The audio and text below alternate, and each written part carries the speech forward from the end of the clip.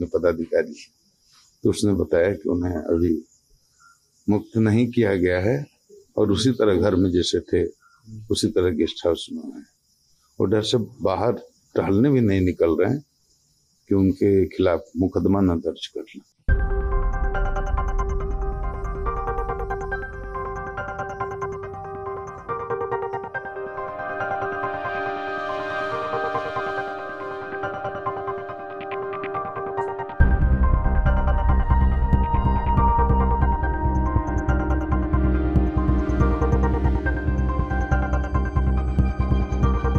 किसी आईपीएस अफसर को क्वारंटीन किए हुए हैं।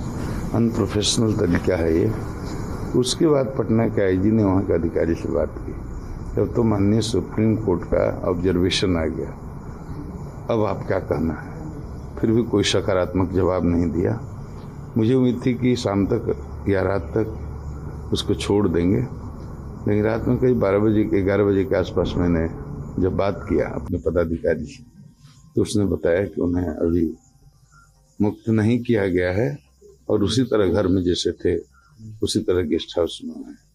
वो डर से बाहर टहलने भी नहीं निकल रहे हैं कि उनके खिलाफ मुकदमा न दर्ज कर लें। तो सर वो जो बाकी चार लोग हैं अगर क्वारंटाइन का नियम उनका सही है तो उन बाकी चार लोग को भी तो करना चाहिए लेकिन ये वो बोल तो- रहे हैं नहीं करेंगे। ये तो मैं कई बार बोल चुका हूँ। कोर्ट जाएँगे? बिहार सरकार हम लोग तय हम लोग देख रहे हैं तय कर रहे हैं राय ले रहे हैं। अधिवक्ता महाधिवक्ता से बात करेंगे।